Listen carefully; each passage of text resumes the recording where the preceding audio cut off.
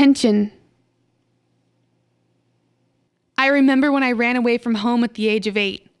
I went out to the forest back of our house and sat in the pine needles, thinking that someone would notice that I was gone and then send a search party. I sat for what seemed to be a long time. I didn't like being alone or sitting where I had to sweep ants off my legs or where all sorts of pine cones and pine needles poked me in the rear. But I thought the attention I would get was going to make the discomfort worth it.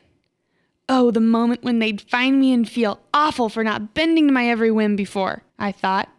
They'll wish they had paid more attention to me. I also remember being a kid and getting in one of those really obnoxious moods in which I hassled my uncle endlessly.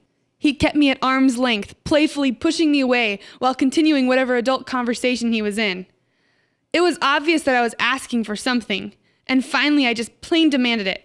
I yelled, Give me attention! African children soak up attention like sponges.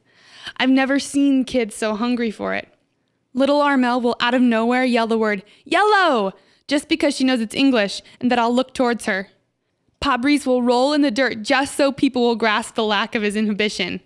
Aaron will call my name and then, realizing he's got nothing to say, he'll make some crazy face just to get a reaction. The kids bring their homework and set it in my lap, balance pots on their heads, pretend they're going to eat frogs, and point to their new clothes, anything to get attention. It seems as we get older, we learn to live with less attention. Or perhaps as we grow older, the world demands so much from us that we just want to escape from its eye. Whatever the case, these kids are still soaking up attention.